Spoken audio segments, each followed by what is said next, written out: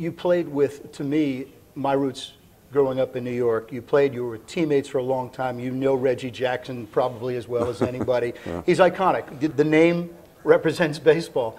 What can you tell me about Reggie that I don't know? Oh golly, Reggie, uh, he was he was a great guy. I got along with him real well. Um, he stayed with me uh, here in Birmingham for about a month. He couldn't find a place to live, so uh, I had an extra room at my apartment. Reggie will also be part of your lore because of this. Yeah, Reggie started the mustache. He came to spring training in 72 with a mustache and, and wouldn't shave it off. And so myself and Catfish Hunter, Darold Knowles, there was about three of us decided to grow mustaches. And we figured if we grow them, Dick Williams was our manager, he'd say, okay guys, cut it off.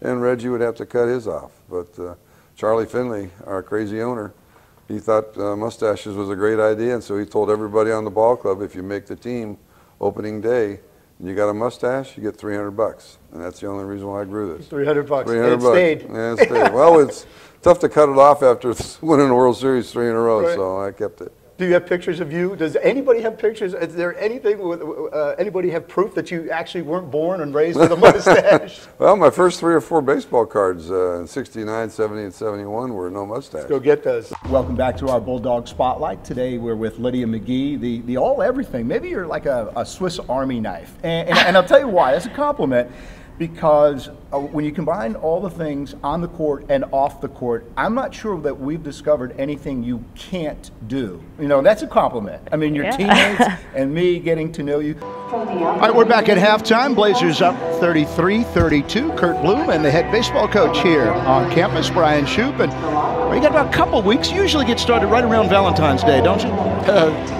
Valentine's Day is our banquet this year our Meet the Team banquets. We're making it easy on the husbands. All they got to do is come to the banquet.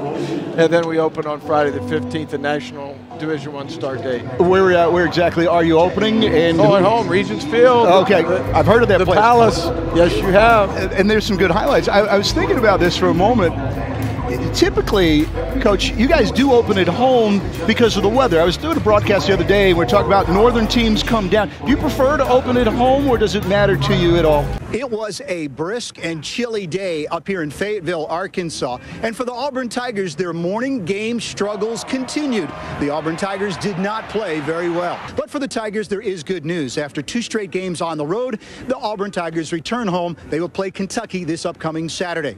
From Fayetteville, Arkansas, this is Curt Bloom. Neat moment. Kevin Sheets will bet, and uh, Larry Sheets, his dad, getting a more comfortable position.